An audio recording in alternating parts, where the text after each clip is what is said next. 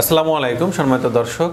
অনেকেই জানতে চেয়েছিলেন যে সন্তান হওয়ার পর স্বামীর যৌন মিলনের যে আগ্রহ, এটা কমে গেছে। এক্ষেত্রে করণীয় কি? তো বন্ধুরা, চলুন চলে যায় মূল আলোচনায়। অনেক মেয়েরা আছেন, তারা এভাবে বলেছেন যে আমাদের যখন প্রথম বিয়ে হয়, তো বিয়ের পর থেকে যখন বাচ্চা বেবি কনসিভ করে বেবি কনসিভ করার পরেও হাজব্যান্ড যথেষ্ট পরিমাণে সময় নিয়ে সহবাস করতে পারতেন। কিন্তু বাচ্চা হওয়ার পরে যে দীর্ঘ একটা বিরতি বা গ্যাপ গেছে, এই গ্যাপ যাওয়ার পর থেকে স্বামী কিন্তু আগের মতো সহবাস করতে চান না বা সময় নিতে পারেন না। এ কেন এমনটা হচ্ছে এবং এক্ষেত্রে স্ত্রী হিসেবে আমাদের করণীয় কী? তো আসলে মূলত বিষয় হচ্ছে একজন পুরুষ যখন দেখা যায় বিয়ের প্রথম দিকে ভালো সময় নিচ্ছে যখন বেবি কনসেপ্ট করছে তখনও সময় নিতে পারছে, কিন্তু এই দীর্ঘ বিরতির পরে কেন পারছে না? এখানে দুইটি বিষয় আসলে জড়িত থাকে। একটি হচ্ছে যে কিছু মানসিক প্রবলেম কিছু আছে শারীরিক প্রবলেম তো আমরা যদি শারীরিক প্রবলেমটার দিকে তাকাই, সেক্ষেত্রে দেখা যায় অনেকেই আছেন যে, এই যে দীর্ঘ একটা বিরতি গেল বা গ্যাপ গেল, এই গ্যাপ যাওয়ার কারণে সহবাসের প্রতি যে একটা ভালো লাগা, এটা অনেক ক্ষেত্রে কমতে থাকে। এটা দিনে দিনে কিছুটা পরিবর্তন আসে। আর অনেক ক্ষেত্রে দেখা যায় যে, এই দীর্ঘদিন সহবাস না করার কারণে তার মনের মাঝে কিন্তু এক প্রকার আসলে এই সহবাসের প্রতি একটা অনীহার সৃষ্টি হয়ে যায়।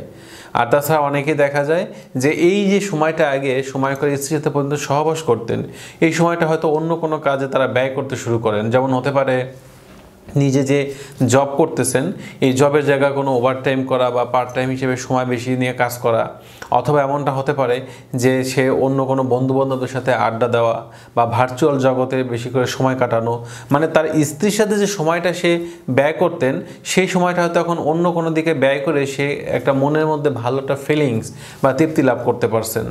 আর একটা বিষয় থাকে কিছু মানসিক সমস্যা, কারণ একটা মেয়ের যখন বেবি কনসেপ্ট করে, করার পর বাচ্চা হওয়ার পরে তাদের হায়েজ এবং নিফাস বা তাদের ঋতুস্রাবের যে একটা বিষয় থাকে, অর্থাৎ কারও কারও পাঁচচল্লিশ দিন, কারও ষাট দিন যে তাদের অল্প পরিমাণে বিল্ডিং হতে থাকে বা সহবাসটা এই সময় আসলে একজন স্বামী করতে পারে না, তো এই সকল কারণে দেখা যায় তাদের কিছু মানসিক সমস্যা হয়ে থাকে। তো অনেকে আবার এভাবে বলেন যে আসলে আমার হাজব্যান্ড যখন কন্ডম ইউজ করে, তখন দেখা যায় সে সময়টা একটু বেশি নিতে পারে। কিন্তু কন্ডম ইউজ করলে স্ত্রী হিসেবে হয়তো আমি সেইভাবে সহবাসের সময়টা ভালোভাবে এনজয় করতে পারি না। কারণ কন্ডম ইউজ করলে এটা সত্যি যে হাজব্যান্ড বা পুরুষ যিনি আছেন, তার যে বিষয়টা হয়, তার সেন্সেশনটা একটু কমে যায়। যার কারণে দীর্ঘ সময় নিয়ে সে সহবাস করতে পারে। আবার অপরদিকে স্ত্রী হিসেবে আপনার যে ক্ষতিটা অনুভব করে থাকেন, সেটা হচ্ছে যে আপনাদের হয়তো এটা সেন্সেশনটা যেটা আসার কথা ছিল ন্যাচারালি সেটা কিন্তু আসলে খুঁজে পান না। আপনাদের কিন্তু আনইজি ফিল করেন। তো এমনটা যদি হয়, সেক্ষেত্রে যেটা করতে হবে, সেটা হচ্ছে নিজেকে স্ত্রী হিসেবে পরিপাটি রাখতে হবে। সৌন্দর্য বর্ধনের জন্য একটু ভালো কাপড় পরা, একটু ভালো সুন্দর সাজুগুজু করা, এই কাজগুলো করতে হবে। আর স্পেশালিভাবে নিজের এবং স্বামীর খাবারের দিকে নজর দিতে হবে। অর্থাৎ আপনারা যেমন কিছু পুষ্টিকর খাবার বেশি করে খাওয়ার চেষ্টা করতে হবে, আপনার যে স্বাস্থ্যটা রিকভারি করার জন্য বা আপনার শরীরের সেই আগের ইমেজটা ফিরিয়ে আনার জন্য আপনারা যেমন খাবারে পরিবর্তন আনতে হবে, অপরদিকে আপনার হাজব্যান্ডের খাবার দিকে একটু পরিবর্তন আনতে হবে বা তাদেরকে একটু খেয়াল দিতে হবে। যেমন সে আসলে পুষ্টিকর খাবার কেমন খাচ্ছে? তার খাদ্য তালিকায় দুধ, ডিম বা শাকসবজি বা ভালো প্রোটিন সমৃদ্ধ খাবার আছে কি না তার শরীর দুর্বল যাতে না হয়ে যায়, সেজন্য তার ঘুমের সমস্যাটা ঠিক আছে কি না তার প্রত্যেকটি বিষয়ে স্ত্রী হিসেবে কিন্তু আপনার খেয়াল করতে হবে। তাহলে দেখা যাবে যে আপনার স্বামী যখন এই ভিটামিনের ঘাটতি বা পুষ্টি সমস্যা থাকবে না, তখন তার আসলে জৈবিক চাহিদাটা বৃদ্ধি পাবে। আর জৈবিক চাহিদাটা বৃদ্ধি পেলে তখন কিন্তু তার এই সমস্যাটা কিন্তু উন্নতি আসতে শুরু করবে। তো এই কাজগুলো করার পরেও যদি উন্নতি না আসে তাহলে কি করতে হবে? বসে থাকা যাবে না।